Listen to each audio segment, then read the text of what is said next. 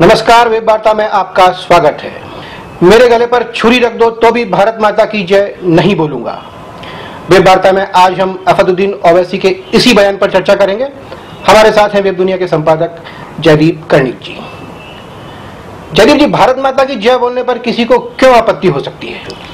देखिए, मुझे लगता है कि इस आपत्ति से बड़ी बात है कि पूर्णतः राजनीतिक बयान है। असदुद्दीन ओवैसी किस तरह की राजनीति करते हैं, किस तरह के बयान देते हैं, किससे छुपा नहीं और ये बयान इस तरह के उन्होंने पहली बार नहीं दिए सभी ने इसकी बहुत निंदा की है, और मुझे लगता है कि उनको जो एक करारा जवाब मिलना चाहिए था, वो तो राज्यसभा सांसद और कवि लेखक जावेद अख्तर साहब ने दे ही दिया है।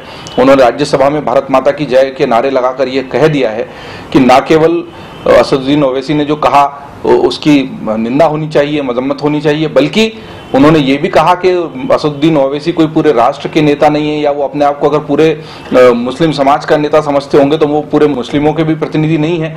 उन्होंने ये अपनी बात अपने स्तर पर कही है, दुर्भाग्यपूर्ण है, क्योंकि दरअसल भारत माता की जय का जो नारा है, वो केवल प्रतीक है कि आप अपने राष्ट्र की जय कर रहे हैं, आप अपने राष्ट्र की जय दूसरे तरीके से करना चाहते हैं, उसका भी स्वागत है। हालाँकि मैं ज़रूर कहूँगा कि बाद में असदुद्दीन ओवैसी ने जय हिंद कहा है तो हमें अब इस बहस में नहीं पढ़ना चाहिए कि जय हिंद कहने वाला राष्ट्रभक्त है कि भारत माता की जय कहने वाला राष्ट्रभक्त है। बहस इस बात पर होनी चाहिए कि ये जो राष्ट्रभक्ति है, जिस पर काफ़ी लंबे समय से अब बहस चली आ रही है ये सही समय जब हम राष्ट्रभक्ति को सही तरीके से परिभाषित करें। राष्ट्रभक्ति के नारे और जुमले उछाल देने से हवा में कुछ नहीं होगा।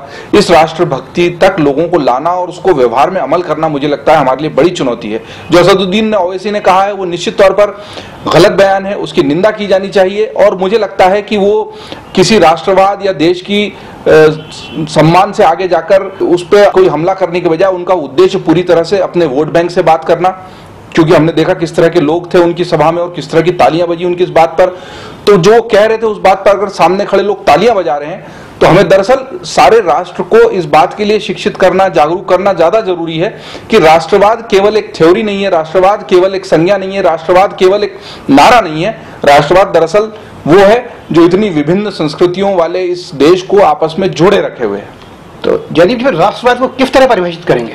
ये मुझे लगता है आज के समय का एक बड़ा सवाल बन के उभरा है, क्योंकि हम जिस तरह से जेएनयू की घटना देख रहे हैं, उसके बाद से लेकर राष्ट्रवाद पर बहुत लंबी बहस हुई है।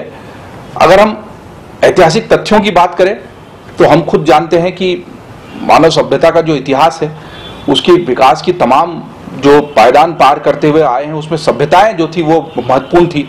चाहे वो सिंधु घाटी की सभ्यता हो मोहनजोदड़ो हड़प्पा की सभ्यता हो, रोम का साम्राज्य हो, या इसके बाद जो अलग अलग छोटी सभ्यताएँ विकसित हुई और उनकी खोज की गई और उनके बारे में जानकारी अस्तित्व में, उसके बाद हमने देखा कि एक बहुत लंबा समय जो रहा, वो राजशाही का रहा राज्य सत्ता का रहा। और जो राजा था, वही राष्ट्र था, जो राजा था, वही राज्य था, जो राजा था, वही शासक था। राजा और शासक के होने के इस पूरी घटना के बीच में यूरोप में एक नए सिद्धांत का उदय हुआ था, क्योंकि यूरोप में चर्च भी एक बहुत महत्वपूर्ण किरदार के रूप में उभर कर आया था।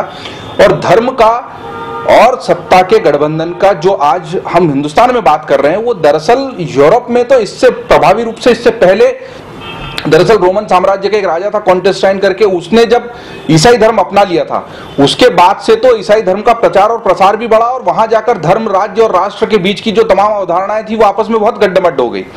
इसके बाद जब पूंजीपतियों का, राज्य सत्ता का गठजोड़ चालू हुआ, वंचितों का, शोषितों का दमन चालू हुआ।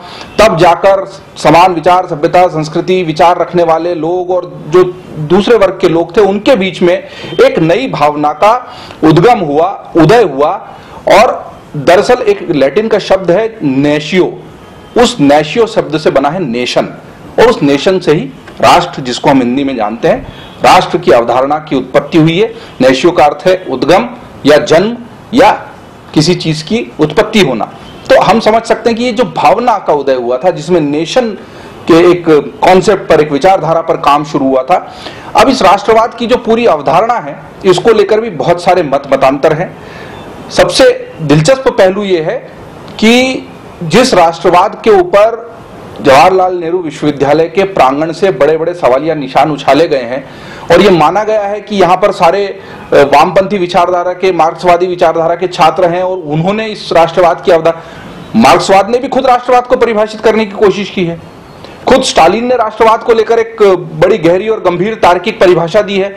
हमारे पास अभी वेब वार्ता में समय नहीं कि हम सारे सिद्धांतों का यहाँ पर विस्तार से वर्णन करें, लेकिन मैं वेब वार्ता के अपने श्रोताओं और दर्शकों की जानकारी के लिए ज़रूर, जो हम गूगल पर अगर ढूंढे तो विकीपीडिया में राष्ट्रवाद की परिभाषा मिलती है, उसको पढ़कर सुनाना चाहूँगा, जो कि मौजूद भी होगी और इस चर्चा को आगे बढ़ाने में मदद करेगी। राष्ट्रवाद लोगों के किसी समूह की उस आस्था का नाम है जिसके तहत वे खुद को साझा इतिहास, परंपरा, भाषा, जातीयता और संस्कृति के आधार पर एकजुट मानते हैं।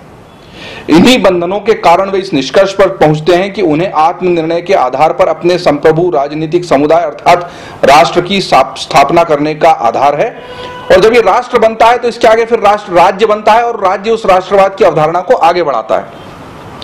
परिभाषा की इस गंभीरता में हम जाएँ भी हालाँकि ये एकमात्र और प्रचलित परिभाषा नहीं है राष्ट्रवाद की, लेकिन इसको हम गंभीरता से देखें तो भारत में राष्ट्र और राष्ट्रवाद का उदय लोग कहते हैं कि यूरोप से आया और उसके बाद भारत ने अपनाया, लेकिन हम हमारे इतिहास में जाएँ तो जम्बू द्वीप भारत खंडे जम्बू द्वीप हमारे प्राचीन इतिहास के वेदों की ऋचाओं में और श्लोकों में मिलता है। तो भारतवर्ष की अवधारणा जो है, वो प्राचीन है, लेकिन बीच का एक लंबा इतिहास जो दुनिया ने देखा, वो हमने भी देखा, राजे रजवाड़ों का, शासकों का इतिहास था, जो अपने आप को भारत के रूप में नहीं संचालित कर रहे थे। हम ये ज़रूर देखते हैं कि अशोक के समय का जो भारत था, वो ज़रूर उतना बड़ा विस्तार लिए हुए था, ये माना जाता है। लेकिन उसके बाद वापस रियासतों और शासकों का दौर आया और उसके बाद मुगल काल आया। मुगलों ने छोटे छोटे जो राज्य और रियासतें थी, उन पर कब्जा। ये जो एक मोटा इतिहास है, ये हम अच्छे से जानते हैं। इसके बाद दरअसल वो जो बिखरा हुआ भारतवर्ष था, उसको राष्ट्र और राज्य के रूप में स्थापित किया गया था आज़ादी के दिन 15 अगस्त उन्नीस को, जब तमाम रियासतों का और राज्यों का मिलन इस भारत राष्ट्र के रूप में हुआ।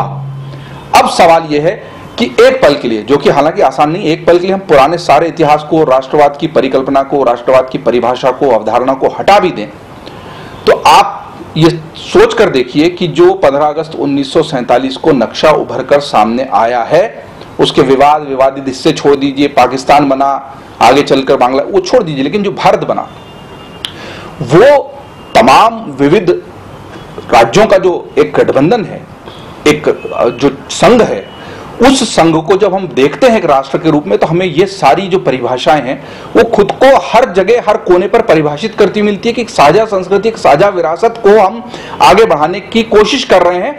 बल्कि एक ऐसी संस्कृति जो बहती हुई नदी के समान है, जिसमें छोटी सहायक नदियाँ अगर आकर मिली, हमने देखा कि मुगलों का एक लंबा इतिहास और विवादित इतिहास भी, लेकिन मुगल सभ्यता को जिस तरीके से हिंदुस्तान ने अपना उतना तो शायद जहाँ से अरब राज्यों से मुगल यहाँ पर आए थे या तुर्कमेनिस्तान से आए थे, वहाँ पर भी नहीं अपनाया गया। तो एक ऐसी विशाल उदात्त परंपरा जिसने तमाम अपने भीतर आने वाली संस्कृतियों का भी समावेश किया हो और उसको मिलाकर एक राष्ट्र बनाया हो। और आप बताइए कि इसके अलावा और उपाय क्या था? क्या हम फिर से उन छोटे छोटे राज्यों और रियासतों के दौर में चले जाते जहाँ हम आपस में लड़ते रहते? क्या हमको वो समय ठीक लगता जब हमें मध्य प्रदेश से आंध्र प्रदेश जाने के लिए वीज़ा और पासपोर्ट की ज़रूरत पड़ती?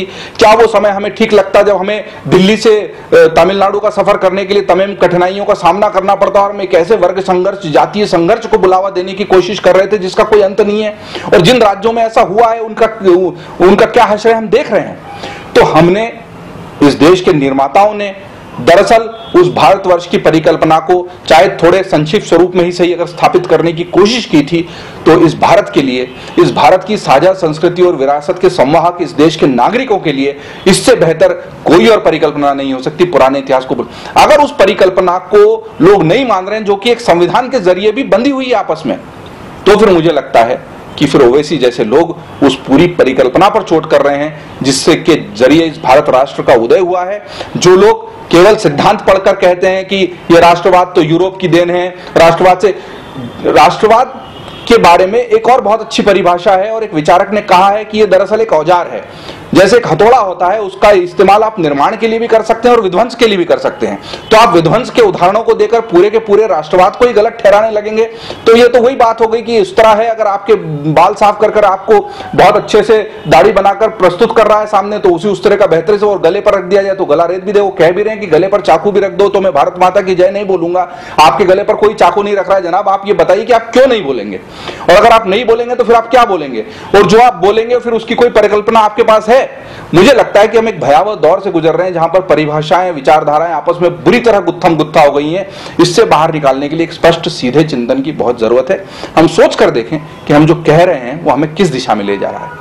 अगर कुछ लोग कहते हैं जैसा कि एक प्रोफेसर निवेदिता हैं, जवाहरलाल नेहरू विश्वविद्यालय की, वो कहती हैं कि भारत ने राष्ट्र के रूप में कई सारे राज्यों पर, आप मुझे बताइए कि आप चाहते हैं कि वो राज्य और रियासतों और सत्ता का जो संघर्ष है उसमें हम गुजरे?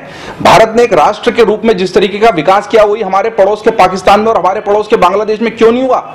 म्यांमार में, बर्मा में, अब जाकर एक ऐसा राष्ट्रपति चुना जा सका है जो कि सेना से नहीं आता हो। क्या हम चाहते हैं कि हमारा भारत भी उसी तरीके के अंधकार में भविष्य की ओर चले जाए? मुझे लगता है ये जो विचारक हैं, ये किताबें पढ़कर, थ्योरियों को, सिद्धांतों को उठाकर, व्यावहारिक जीवन से कटकर, इस तरह की बातें कर रहे हैं जो इस राष्ट्र के विकास के लिए बहुत घातक हैं। इन परिभाषाओं को, इस तरह के बयानों को रोका जाना और उसमें सही विचार को रोपित करना बहुत ज़रूरी है। राष्ट्रवाद की परिकल्पना ने इस राष्ट्र को एक उदात्त स्वरूप में बनाए रखने के लिए संविधान में तमाम तरह की व्यवस्थाएँ की गई हैं और वो इतना लचीला भी है संविधान की उसमें हमने संशोधन भी किए हैं। लेकिन उनका सम्मान बनाए रखना, उस राष्ट्र की अवधारणा को सही रूप में लोगों के भीतर पुष्पित और पल्लवित करना, यहाँ हम थोड़े चूक गए हैं, तभी लोग राष्ट्रवाद को गड्ढमड करके दूसरे अन्य सिद्धांतों से टकराकर चूर चूर करने में लगे हैं। वो शक्तियाँ कामयाब तो नहीं होंगी, लेकिन इन विचारों को दबाने के लिए, त्रोहित करने के लिए, इनका करारा जवाब देने के लिए सही विचारधारा को सकारात्मक विचारधारा को, राष्ट्र के प्रेम को सही तरीके से पुष्पित पल्लवित हमें करना होगा। धन्यवाद जयदीप जी। हम चर्चा कर रहे थे असदुद्दीन ओवैसी के बयान की। अगली बार फिर किसी नए विषय पर चर्चा करेंगे। नमस्कार।